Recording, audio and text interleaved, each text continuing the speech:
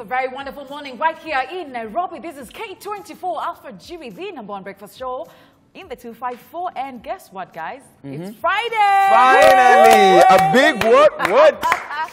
Ah, oh, man. yes. It Ah. is so good to finally see this week come to an end. My name is Sarah Danuteshna. I'm Jeff Mote, and this weekend is one of those mixed feelings for me because, okay, looking forward to the biggest World Cup action happening, and then you realize when Monday comes, It's over. what do you look forward to? As in, what is life? We have our men back. What is life? Ah, yes, and that too. Salimianga Oh, watu kuisha.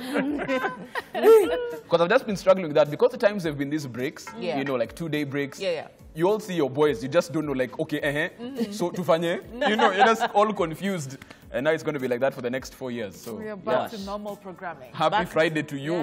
My name is Shiro Morioki, and actually raised that to someone like, World Cup is over. He was like, Formula One isn't. I was like, can we win? Can we live? Anyway, it is Hangout Friday, and in the building we have uh, the biggest mix master himself, DJ Ace. V DJ Ace is in the building. It's going to be absolutely crazy Yes. on the decks. You know, uh, the litness is going to be televised right here on the show. Also, um, the boys stopped by P Unit.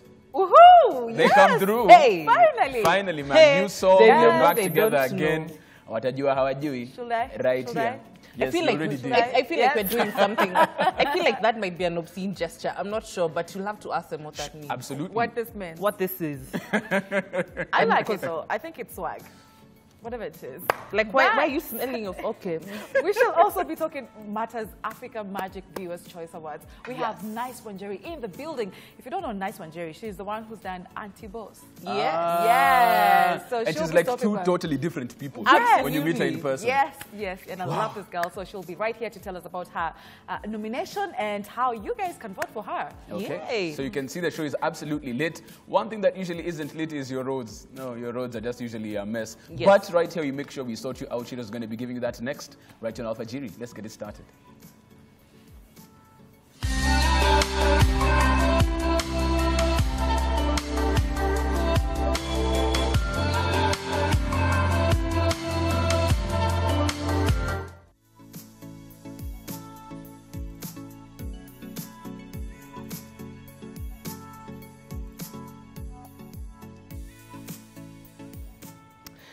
Right, it is Friday, which pretty much means that maybe we misbehave a little more on the roads. But let's just see if the situation on the roads at this early hour of the morning can be a pointer as to how the rest of the day will progress. As usual, let's start off uh, with Mombasa Road. Um, that's always a good place to start. Let's head on all the way down to uh, Cabanas area and beyond, see what that looks like.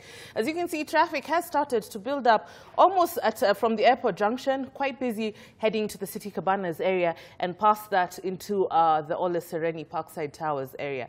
But past that, Traffic seems to be moving smoothly up until the Nyayo Stadium roundabout, where again traffic has started to uh, build up, but not as much as we're accustomed to seeing. This is Great news, good tidings. All right, let's head on down to Langata Road, starting off from the southern bypass. Things look good heading into T-Mall uh, roundabout there. Mbagathi Way flowing smoothly up until the City Motorway roundabout. Ngong Road oh, looks good all the way from um, the junction area all the way down to City Motorway roundabout. Uh, Valley Road looks good, joining Kenyatta Avenue down towards the GPO area. Now let's go to the places that might not look so good this early morning, and that is Jogoo Road, which is already quite busy as we head into the City Stadium roundabout, and past that into downtown Nairobi on Landhies Road. Things are not looking good at all there. Okay. Finally, as usual, let's uh, finish up on Thika Road, see what that looks like. And weird, it actually doesn't look too bad. There's only that spot of traffic at Allsops, but after that, heading down into the Pangani area, things are not looking terrible at all. All right, that is your traffic situation. As at um, five minutes uh, past six right now, though, Jeff Mote and uh, the Big E, Eli Gita, will take you through the Friday papers.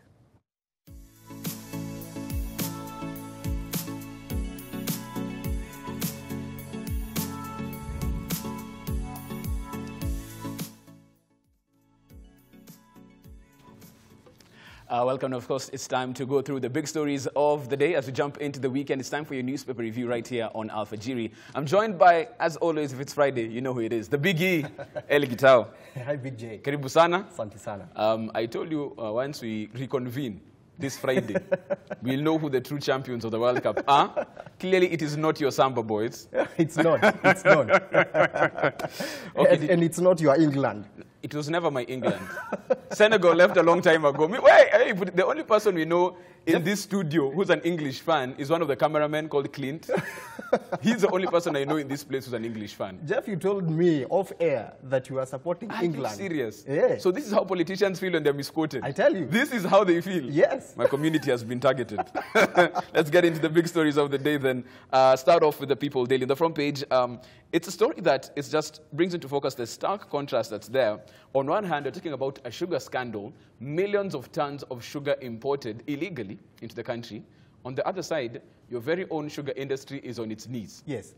deathbed. In fact, that's um, what's happening here. Why. Mumias is on its deathbed? It's sad. It doesn't even make sense. It doesn't make sense. It's the same country. After a decade of poor management and, and lost funds and everything, now we are staring at Mumias being closed down for good. And let's not forget uh, a couple of government bailouts down the line, Yes. trying just to bring it back to life. But people wonder, okay, fine, what isn't working? You've been given money, your debts have been taken care of. There's clearly a demand for sugar. Yeah. You, you can't say that they produce sugar and it's just sitting on the shelves. Yes. So there's clearly a demand for sugar. There is. Why is the industry, and this is int- uh, uh, a peculiar case to that sugar belt region. So many sugar companies suffering the same fate, Yes. probably this one the most uh, at the moment. But why is Mumias on its deathbed? It's gotten everything it needs to get back up and run. Yes. A myriad of issues have been raised, eh? including poor management, fraud, tax evasion, allegations, you know.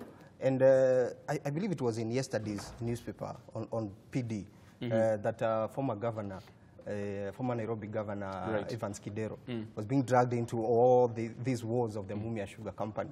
And, uh, you know, Mumias was the biggest uh, sugar mill in this country. It was crushing over 350,000 tons of sugar as compared to 600,000 uh, tons of sugar across board in the other government-owned millers.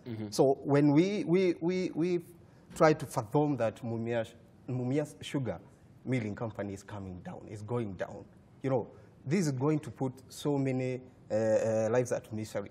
You know, th- the thousands of farmers in the, in the Western Sugar Belt, they are going to suffer.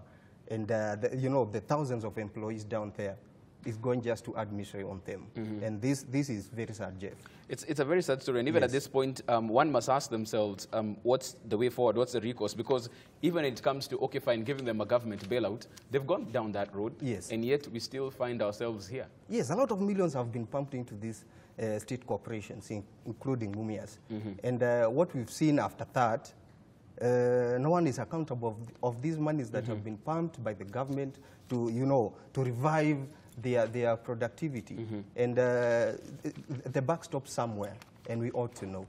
It's, it's, it's a really sad story on that one, of course, and we'll get uh, more details of uh, that. And if at all, um, it can be salvaged from its deathbed. Yes. That's going to be the, the details story. are on page 15, and uh, it's a massive, massive scandal that's happening at Mumias. Okay, you can get uh, that, of course, uh, like you said, uh, on the 15th page of uh, the PD. Still on the front page, ministry mulls exclusively day schools. Uh, government toying with the idea of doing away with boarding institutions, especially coming off um, the, the whole unrest that has happened in the region. Talking Yes. about more than 40 schools uh, being closed since the year began uh, because of unrest in different pockets in the country. Yeah. And even as they try to figure out what's going on there, they've already uh, read the Riot Act to the students. They've been told that now moving forward, whatever you do, even if you're a minor, you're going to carry that record with you for the rest of your life. Yes. But now they're thinking about even broader measures, just like scrapping the whole boarding system and keeping all secondary schools as day schools. You know, the feeling is that uh, parents have exclusively dedicated their parenting role to teachers. And uh, that's why maybe the ministry and maybe other stakeholders are of the opinion that if, if uh, we, we, we, we had a lot of day schools other than boarding schools, maybe the parents would be uh, in a position to take care of their children and teach them some manners. Indeed. Because the, the unrest that we've seen throughout, I think, for the last two weeks, uh, students touching their, their, their schools and, uh, and all that, uh, some feel like it's a parenting issue. It's a, i- i- so pursuing that route uh, seems viable by, you know, the concerned uh, departments. But again, is it going really to be effective? Because we, we, we can't have like uh, uh, all, all, you know, all the students, they are in their thousands. and uh, we don't have enough, you know, day schools. That's why we have a school in, in Busia, but uh, uh, uh, it has pupils from, uh, from Nyeri and from other parts of the country. Right. So I don't think that will be effective, but it's a matter that's going to be, to be looked upon. Uh, but again, Jeff, when we talk about uh, uh, uh, this unrest that's happening in schools, we should ask ourselves, why are these teenagers, because they are teenagers, what is going in their mind? Who's taking of their psychological and mental, uh, uh, you know, guidance?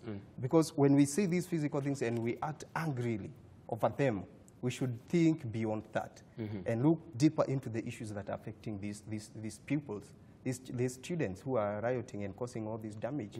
Yes, so it goes beyond just that act. It goes beyond that physical act, but it's also mentally uh, related. And it's an interesting angle you bring into that because uh, some quarters just talk about the fact that, oh, it's the examinations, the KCSE, but it shouldn't be normalized at the fact that every single year we'll have school unrest because of an exam that happens every year. But Jeff, we, we, al- in our time, we, we also had the exams. It's nothing new, it's not a It's, surprise. it's nothing new. But you know, the, the, the, there's a lot of you know politics that have been ingested in this thing. Eh? Uh, owing to the fact there are people who are arguing that uh, the delocalization of teachers by the TSC is also the, the could play a part. Yes, it's playing part in this. So maybe the Ministry of Education should tell us exactly why are these unrests erupting. And you know, in, in, in some regions, let's say in the, in the Western and Nyanza regions, these cases have been, uh, you know, they, they can be accounted as 80% of all the unrests that have uh, uh, been reported throughout the, the last two weeks or so. So i- is this a trend? Is it, is, is it a trend that can be tracked to something? Yeah, th- we- I think we should investigate that and come up with a solution as, as fast as possible. Absolutely. And even when we move on to the second page of uh, the People Daily, uh, it's the same story, right? They're just going more into detail about uh, scrapping the boarding facility over school unrest. This, of course, uh, coming from the PS, uh, of course, on this one, Belio Kipsang. But also, it also brings into question, because that's not the only thing that they'll have to look at. Also, the whole admission policy and admission systems of high schools as they get students into their schools is going to be an issue. Because now you actually need to get early a school that's close to where they live. Yes. So now that's a new aspect. Because before, it really didn't matter where you live in this country. Yes, yes. If you're called to a certain school, whether it's in Nyeri or where, you You pack up your go. bags and you go. Yes. But now, the school that you're called to, if it's a day school, you're not going to look for a relative there if you don't have. Yes. There's a, there's, there's a lot that will have to be. Yes, that's why I was before they go telling it, it's route. going to be a challenging uh, thing to implement if the Ministry of Education uh, pushes through with this agenda. It, i if it, it goes through, it will be a challenge to parents and to, to the students themselves because I don't see the viability of how I can uh, uh, be, be, be called to join a, a school in, in, in, let's say, uh, Tana River, and my home is in Nakuru. And, And it's, a day school. Exactly. Yeah, it, it doesn't make sense. Before sense. that, it wouldn't have been an issue because you'd be Yes. boarding there. Yes. But now, uh, lots of factors to consider before uh, they go into the whole admissions process Absolutely, uh, absolutely. for high schools. Yes. So you can get that, of course, on the second uh, page of your People Daily. We now move on swiftly to page three. Always a favorite on page three. It's a wacky World every single time with Michael Moriah. On the third page, it's all about winning against all odds. When you feel like the odds are stacked against you and it can't really work well, Michael Moriah is giving you a sliver of hope because right in there, there's a chance for you to make wonders and make people wonder how you did it. And right there, there are a couple of amazing people who, against all odds, like they said, did exactly that. Shiro, there's one story I'm hoping you'll touch because it's, it's, it's very funny. So, over to you. Over to you. Thank you, Jeff. Shiro Morioki back in the studio. All right, let's take a look at uh, your page three. Michael Mariah scouring the corners of the internet to bring you just the weirdest things. And of course, like Jeff mentioned, one of the things uh, that people just bring joy is just victory against all odds. This is something that um, you know warms the heart in some cases. Like this seven-year-old girl, for instance, who won the Nicholas Maxim Special Award for Excellence in Manuscript Penmanship, which is a national award in the United States for beautiful handwriting in 2016. Now, the thing that makes her stand out is that she was born without hands, but somehow has mastered the, right of, uh, the art of writing by holding her pencil in between the ends of her arms. And, you know, but she could have used prosthetics, but she chose to practice use, using her own arms and got so good that she beat competitors who have both their hands, and she won. And here's another story here. There's a Kenyan, because, you know, that's what we do. Uh, his name is Ibrahim Mukunga Wachira. He's a 27-year-old Kenyan marathon runner. He became an overnight sensation in Estonia after winning the 35th annual Tartu Half Marathon, a 23-kilometer uh, race he ran in his socks. So basically, this is not what he planned to do. He, eh, um, he arrived at the starting point with his shoes, gave them to someone for safekeeping, just could not get them before the starting whistle. So what did he do? He ran in his socks and he won. Gosh, wow. All right, let's take a look at this next one, which I'm sure is the one Jeff was referring to. A 20-year-old man from Russia made headlines after being declared the winner of a women's lingerie photo contest organized by a department store. So now this man, he, his name is Andrei Nagorny. He had of the online photo contest and decided to take a few photos wearing women's lingerie before entering them into the contest just for fun. He expected to get a good laugh, but what he didn't expect was to be declared the winner. So they awarded him the title of Miss Avocado. Then they contacted him to schedule a professional photo shoot, learned he was actually a man. So, of course, they disqualified him and they said that he looked a lot like a girl. And so that's why he became Miss Avocado. That lots of people in this studio have strong feelings about avocado. Meanwhile, there's, we all have these people who come to your house and they take off your socks, their, their shoes, and then it's like the GSU has thrown tear gas into your living room.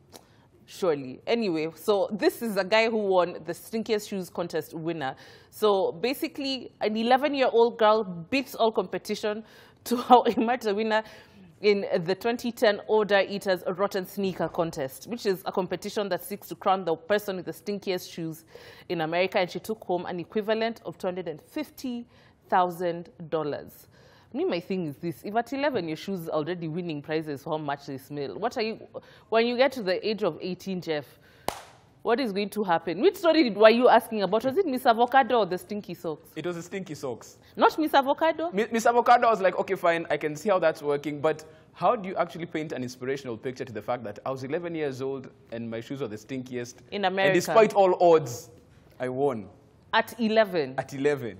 What uh, will your shoes be doing at 21? They'll be clearing cities. anyway, Jeff, that's it. okay, thank you so much for that, Shiro. Of course, you can get uh, much more in your People Daily. Uh, let's quickly move on uh, to the Daily Nation now. In the Daily Nation, uh, on the front page, you know, this handshake story, it's almost as if every so often you're given a small dose of uh, what was discussed, a small dose of uh, details to the agreement, and that's what's happening at this Friday as well. State of the Union revealed in doses. Uh, right in there, of course, uh, Raila Odinga's utterances when he was in Kitui opening um, a hotel on that side, and talking about the fact that um, he was telling the citizenry, you will also be asked on how you want to be governed, how we can improve devolution, um, how we distribute wealth in this country, um, the, the, structure of the executive, mm -hmm. how you want that to be handled as well, whether you want a parliamentary system of government or for a high, uh, high hybrid one. So we can see that there was much more that was discussed in there. And of course, uh, before that, there had been plenty of talk about referendum. I don't know if this is what um, he was alluding to in his speech. Uh, I think uh, Mr. Raila is still pushing that agenda of having a referendum. Uh, in, in, in, the back of, of, of, his mind, he has this idea that a parliamentary system can work better uh, than uh, the, the, the, current mm -hmm. presidential system. And, you know, when, when leaders of this uh, caliber start talking like this, eh, it, it really makes influence into others. I saw an interview of a National Assembly Speaker, mm -hmm. Justin Muturi, on, in, on, on some of the local TV stations, and he was of the same opinion that a parliamentary uh, system can be effective in Kenya than the current. So mm -hmm. I think uh, it's, it's a talk that's going to be picked as time goes by, uh -huh. and we are going to see uh, a lot of talk from uh, different quarters and from different politicians. -huh. And uh, I, I, think, Jeff, it's something that uh, we are going to be treated for the, for the next few years. Indeed. Yes, before uh, 2012, I think some, a lot of things will, will, happen. Will before happen. 2022, yes, absolutely, yes. of course, um, and we'll see how that uh, exactly plays out. Also on the front page, uh, Kidero uh, put on the spot over 1 billion shilling tax arrears. Uh, this, of course, as uh, when he was at the helm of Mumias Sugar. So it seems like um, not only had we discussed the fact that uh, even in Nairobi County government, there's a bit of um, impropriety in terms of how uh, the funds are managed there. Yes. And he was uh, the governor at the time, so he'll have to answer some questions. But also, um, his uh, time at Mumias Sugar has also been brought into question. Yes, he has a lot of questions to answer. Very true. Yes. Uh, let's move on to the standard. Another front page. It's one of the issues that uh, had been highly politicized and was really politically charged. Uh, I'm talking about uh, the lifestyle audit. Now, details have been revealed of this uh, secret lifestyle audit and that it is already in effect and that it's taking place. Um, a multi-agency team that reports directly to President Uhuru Kenyatta has begun vetting first group of public servants in an operation being executed stealthily. Now, they also go down to show um, how this uh, particular operation is working. Uh, you'll receive a call as one of the people. So if you're this uh, high-level public servant, you receive a call, uh, a driver will come and pick you up, take you to an undisclosed location. Uh, once you're there, uh, you'll be asked to provide uh, information and data on what you're doing. Uh, then you're asked to state uh, what you own, and it's compared uh, with a file reported by the NIS. If there's any discrepancy between what you've just said and what they have here, then my friend, you're not going to have it easy. I think Jeff, this is going to be a very interesting, uh, and, and uh, finally, when, when the details are made public, uh, we, we have this so and so, he or she owns this much, and this is how he, he, he, he, he, he or she got the, his wealth. I think it's going to, to elicit a lot of public emotions because they, it goes down to the, you know, the normal mwananchi, Right. the ordinary mwananchi down there, because it's, it's their lives that are going to be uh, if- affected. Yes. Absolutely. So that, of course, uh, is a big story there. Also, yesterday, uh, big stories uh, in the corridors of justice. Uh, Bowen and Keter given another lease of life. They must be so happy. I'm telling you, because very many people had discounted them and thought that after this case, the political uh, livelihoods down the drain. But I mean, the court ruled in their favor and they'll be back in the running. I'm sure now, probably this time, they'll be spitting even more fire Maybe. than before. Maybe. Yeah. And uh, Keter, when speaking after that, uh, uh, The ruling. yes, the ruling, uh, he was very categorical. That, and he, he, he repeated, you know, he's been saying it, that he's fighting a political war because of what he stands for. you know, we, we don't know whether it's the truth, but according to him, he, he seems like uh, there's, there's a war between him and, uh, you know, the, the people that we don't know he alleged Right. he's fighting because of standing for the rights of his people, you know, and his community.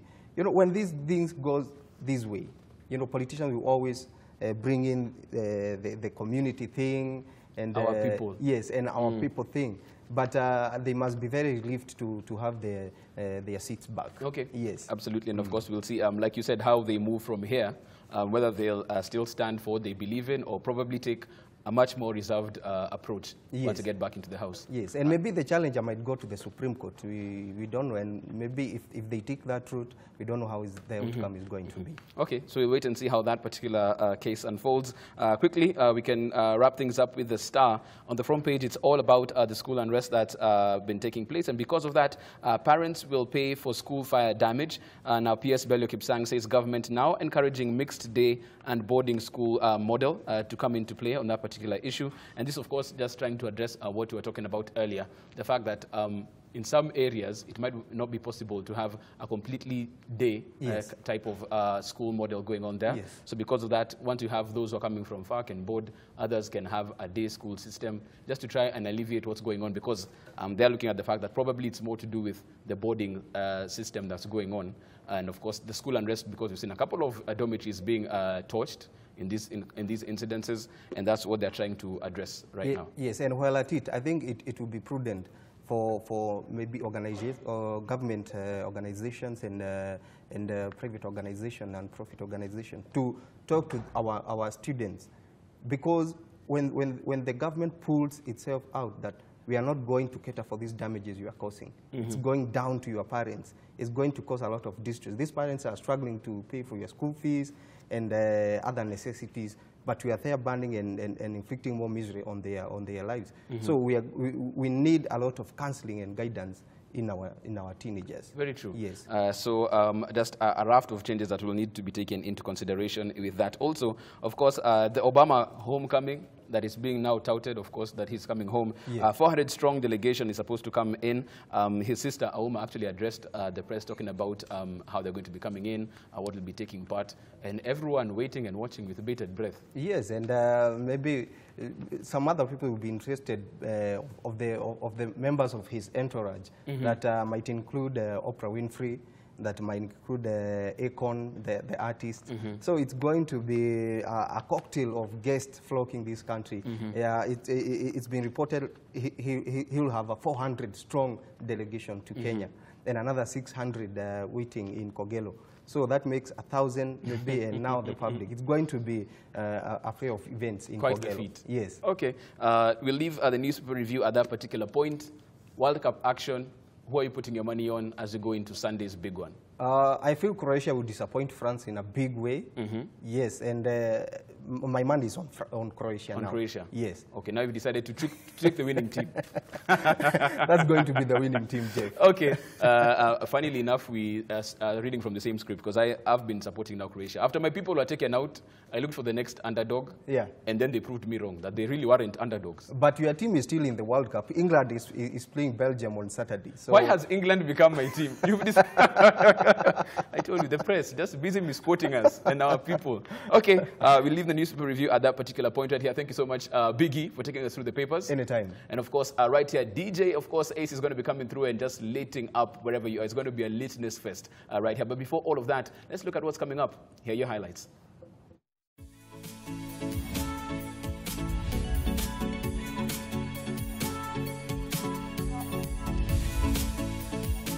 Coming up, we chat about millennial tourism trends.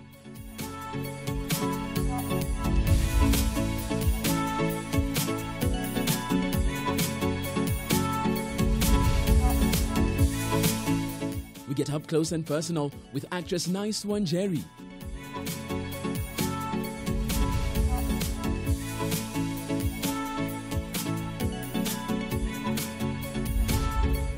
We hang out with DJ Ace